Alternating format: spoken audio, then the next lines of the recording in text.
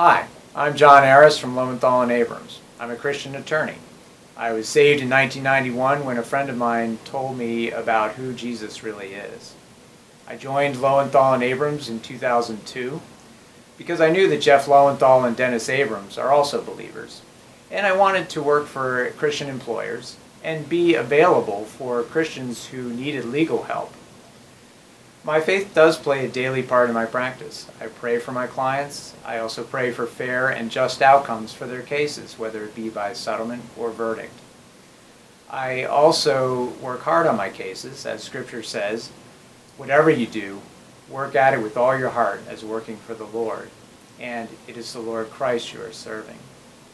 I always look for the best outcome for my clients' cases, but never at the expense of the honesty, integrity, and higher standard that I believe God has called me to through His Word.